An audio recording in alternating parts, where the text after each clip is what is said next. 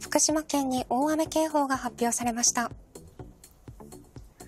詳しい地点を見ていきましょう。福島県会津若松市に大雨警報が発表されました。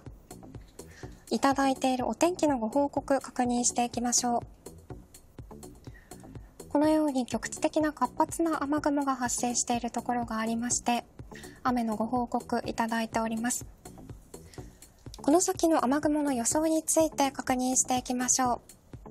アプリウェザーニュースの雨雲レーダーチャンネルを開いていただくと、このように雨雲の状況を確認することができます。時間を進めてこの先の予想を確認していきます。しばらくは同じようなエリアに活発な雨雲かかりやすい状況が続いていきそうです。